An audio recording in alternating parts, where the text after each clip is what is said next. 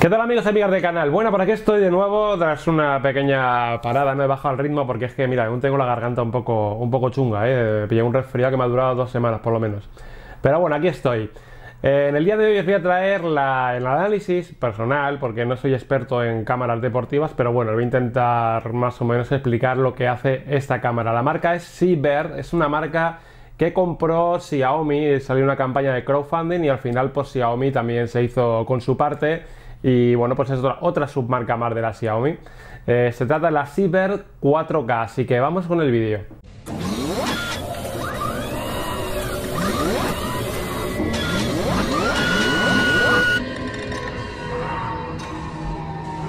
Bien, esta cámara me ha llegado directamente desde Gearbest. El plazo de entrega ha sido, me parece que 8 días, si no recuerdo mal. Totalmente, bueno, súper rápido, sin problema de aduanas. El envío que tiene el Spain Express, pues la verdad es que me encanta y siempre que puedo intento comprar, comprar ahí porque llega que te cagas de rápido. Eh, bien, esta cámara que nos ofrece, pues sinceramente ofrece bastante calidad por lo poco que yo he podido probar. 4K eh, real a 30 frames por segundo y luego tiene por diferentes tipos, no 1080, 60, en fin, todos los aspectos. Eh, lo que me llama la atención precisamente es que es un 4K con una calidad bastante buena por debajo de los 90 euros, si eran 80 y algo lo que valía. Y la verdad es que me parece muy, muy, muy buena cámara. Vamos a echar un poquito así un vistazo al aspecto físico. Como veis, es muy parecido a las típicas cámaras estas de deportiva de toda la vida, ¿no? Lleva lo mismo. De hecho, no viene en la caja con ningún tipo de accesorio, pero podemos utilizar los accesorios de cualquier cámara deportiva de estas estándar, como llamo yo, ¿no? O sea que no hay problema en eso, eh, valen poco, hay que desembolsar un poquito más, ¿no? A lo mejor por 10-15 euros tienes un pack completo en Amazon, pero bueno, eh, hay que comprar la parte. Eh, nos viene una tapita para tapar la lente, es de silicona, muy blandita para protegerla y luego pues tiene nada más que el botón de encendido y luego el botón de disparo. La pantalla es táctil y nos vamos a poder mover por todos los menús simplemente pulsando, tocando con el dedo, ¿no? Os voy a enseñar un poquito lo que es el menú de la cámara y todas las opciones que ofrece para que podáis echarle un vistazo. Bien, cuando la encendemos nos encontramos con este menú dividido claramente en foto, vídeo, ajustes generales y este es para ver las imágenes y vídeos que tenemos grabado. Vamos a ir menú por menú. Eh, bueno, tengo puesto el apagado, mira, ahí desbloquear. El apagado automático pues es apagado, pero bueno. Vamos a probar el menú de la foto para que veáis. Aquí pues tenemos foto para disparar foto, para hacer cinco disparos, un temporizador, el time lapse. Tenemos para cambiar la resolución que nos da simplemente para elegir 12 megapíxeles y 8 y, lo que cambia es el formato 4 tercios y 16 novenos. Y luego tenemos HDR Night, que podemos poner un HDR fijo o podemos poner un modo noche, ¿no? Si nos metemos aquí, pues vemos que podemos poner el balance de blancos automático ISO. Esto lo tengo siempre puesto tal como viene porque me gusta usar todo por, por defecto, que pienso que como mejor salen las fotos. Luego si queremos tocar, pues vamos tocando.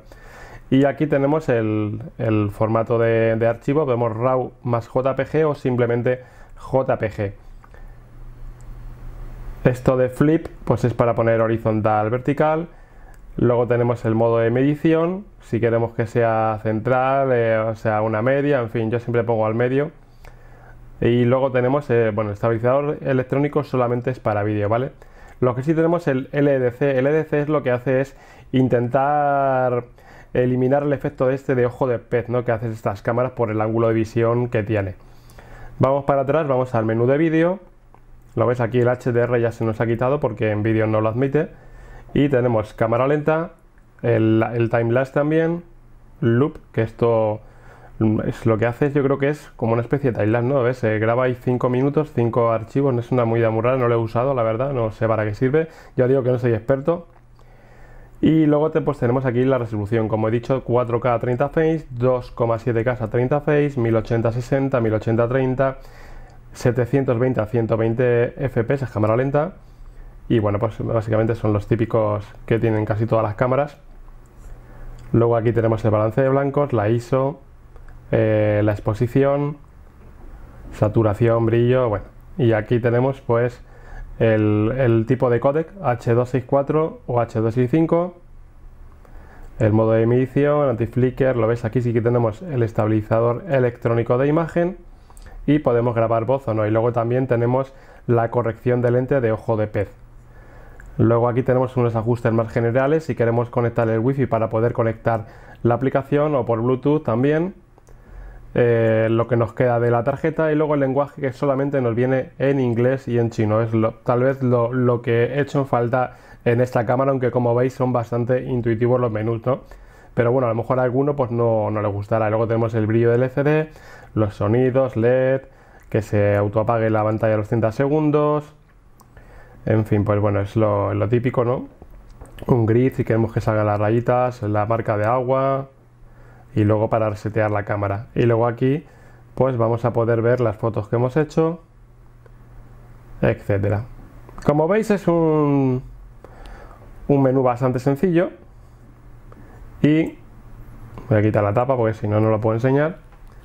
Y como veis pues la camarita no está nada mal. Aquí tenemos la batería de extracción, una batería que me ha durado exactamente 68 minutos más o menos de grabación continua y luego aquí tenemos la ranura para meter la tarjeta micro SD y el puerto de carga micro USB y bueno básicamente esto es la cámara. Ahora a continuación os voy a dejar unas pruebas de vídeo y de fotos que he hecho para que sacáis vuestras propias conclusiones. Bueno esto es una prueba de grabación a 4K 30 frames por segundo aunque luego en el vídeo lo veréis todo a 1080 pero bueno, para que os hagáis una idea, voy andando rápido para probar la estabilización que lleva la imagen. Mirar qué burritos, estamos en Burrolandia, aquí en, Tres Cantos, donde hay un montón de burritos y movías animalitos de granja, etc. Vamos a probar a contraluz.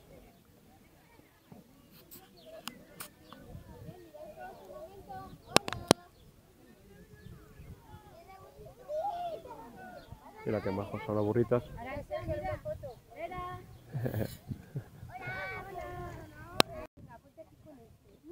Y ahora una prueba de grabación a 4K, 30 frames por segundo con el estabilizador electrónico de imagen activado para probar cómo va. acercamos para ver un poco la resolución y sigo andando.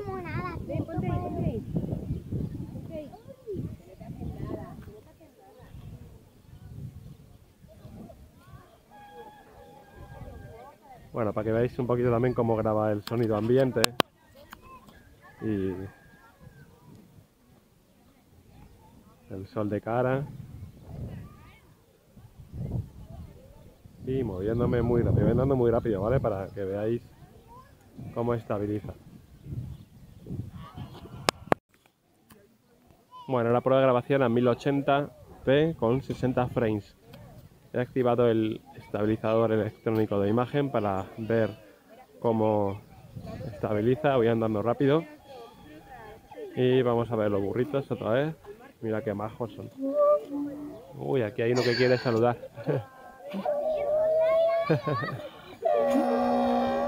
bueno, bueno, bueno. Así probamos bien el altavoz.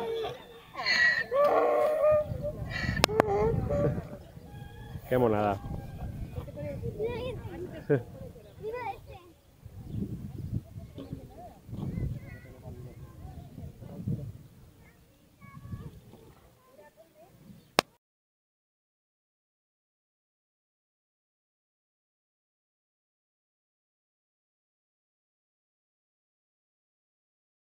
Bueno, como habéis podido comprobar, las conclusiones que he sacado de esta cámara es que la verdad es que ofrece, para mi gusto, bastante buena calidad. No llega a la calidad de una GoPro, evidentemente, pero sí que supera con creces la calidad de otras cámaras que venden por ahí ese tipo con 4K irreal o interpolado, etcétera. ¿no? Aquí, por un precio más o menos similar al que podemos encontrar una cámara deportiva estándar en Amazon, pues sí que es verdad que tenemos una cámara que ofrece una calidad muy buena.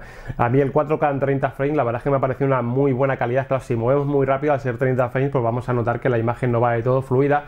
Pero la verdad es que luego la estabilización que tiene, tal vez, eh, había visto otros vídeos y que la estabilización era muy mala pero yo he notado aquí que bueno, no lo hace mal del todo, ¿no? No es, óptica, es electrónica, no va por software, pero sí que he visto que estabiliza más o menos decentemente, así que se han currado alguna actualización y, bueno, pues la verdad es que va bastante bien.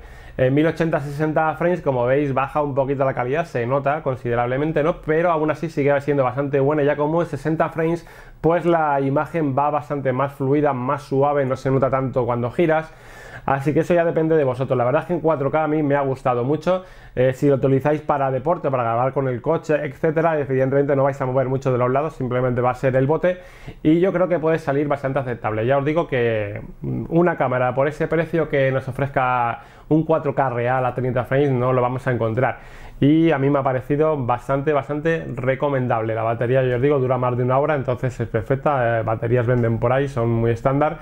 Y bueno, pues espero que os haya gustado este vídeo. Perdonad mi, mi falta de experiencia en ese tipo de cámaras, ¿no? Si hay algún dato por ahí extra que a lo mejor tenía que haber dicho y no he dicho, pero ya os digo que el uso que yo le doy a estas cámaras, pues bueno, es un poco en plan hobby, ¿no? En plan de, poco profesional. Entonces, si alguien busca comprar más, más profesional, pues no sé si me habré dejado algún apartado. Espero que con este par de vídeos que os he dejado uno con estabilizador, otro sin estabilizador, para que veáis un poco la, diferencia y alguna que otra fotillo, pues podéis sacar vuestras, vuestras propias conclusiones. Así que espero que os haya gustado el vídeo y nos vemos en el siguiente. Un saludo y hasta luego amigos.